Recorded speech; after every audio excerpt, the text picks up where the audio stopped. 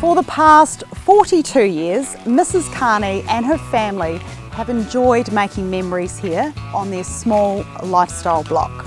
But now it's time for the family to move on to their next chapter in life, leaving behind this beloved family home for a new family to take on this entry level lifestyle property. Completely original 1950s brick home on approximately 13 acres of well fenced paddocks. This is the ideal opportunity for a young family looking for affordable lifestyle and wanting to add value to their next property.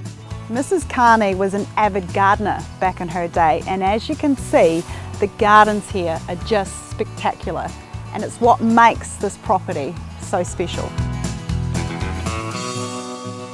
I think my favourite part of this property would have to be the pastel green bathroom. It was definitely the colour palette to have back in the 1950s.